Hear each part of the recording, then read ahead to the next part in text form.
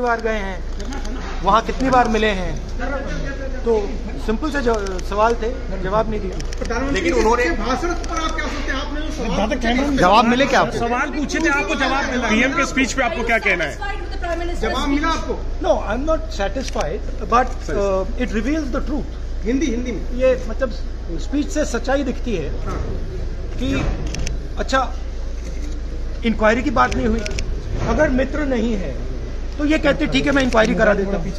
Inquiry की बात नहीं हुई। डिफेंस इंडस्ट्री है वहाँ पे शेल कंपनीज़ हैं। बेनामी पैसा घूम रहा है। उसके बारे में प्रधानमंत्री ने कुछ नहीं कहा। तो मतलब क्लियर है कि प्रधानमंत्री उनकी रक्षा कर रहे वो कह रहे देश के लोगों को भरोसा है। सर राहुल जी वो कह रहे हैं कि देश के लोगों को भरोसा है मोदी पर। इस पर आप क्या नहीं, वो तो ठीक है मतलब मेरा कहना है कि ये नेशनल सिक्योरिटी का मामला है। हिंदुस्तान के इंफ्रास्ट्रक्चर का मामला है। प्रधानमंत्री को ये कह देना चाहिए ठीक है हम इंक्वायरी करेंगे चेक कराएँगे क्या है इसमें। बहुत बड़ा घपला है मगर वो भी नहीं बोला। तो ज़रूर वो उनको प्रोटेक्ट करने की कोशिश कर रहे हैं। बट मैं समझता हूँ मतलब उसका उसका कारण भी